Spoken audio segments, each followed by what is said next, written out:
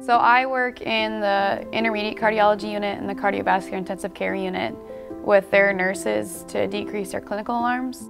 So red or yellow alarm means that a patient's experiencing a condition that needs attention by a staff member, but they're having the problem right now. Each patient has on average three alarms an hour. There's 31 patients, so they have 120 alarms per hour.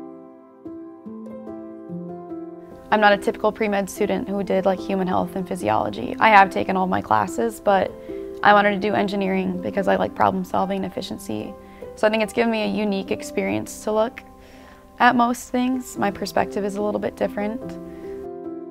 I played soccer here as well. A big thing for me was challenging myself as an athlete, but also realizing that school was my priority. And I wanted to go somewhere that emphasized both parts of my college career equally, which I felt Iowa was, that was their strong suit.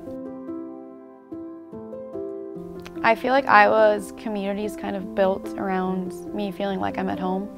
And I feel like Iowa Nice is a real thing.